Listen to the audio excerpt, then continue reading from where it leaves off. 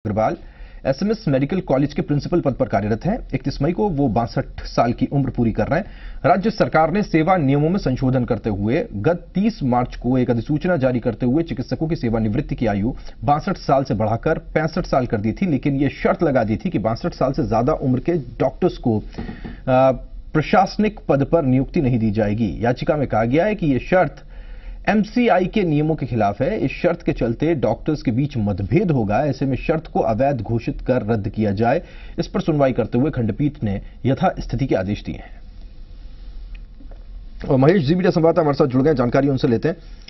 महेश, कैसे समझें इसे? क्योंकि बासठ से पैंसठ की गई थी उम्र लेकिन उस वक्त एक राइडर लगाया गया था कि साहब प्रशासनिक पदों पर नियुक्ति नहीं दी जाएगी। अब इसको चैलेंज किया जा रहा है ये कहते हुए साहब कि अगर नहीं दी जाएगी तो जो मूल नियम है उनका उल्लंघन हो जाएगा।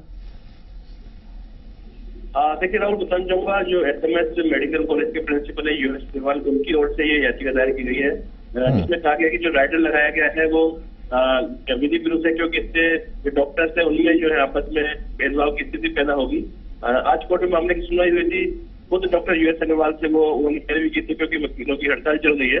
इससे कोर्ट ने मामले में ऐसा स्थिति के आदेश दिए हैं। बताना चाहूँगा की इकतीस मई को डॉक्टर यूएस अग्रवाल है वो बासठ साल की उम्र पूरी कर रहे हैं। ऐसे में उन्हें एक बड़ी राहत के रूप में देखा जा सकता है।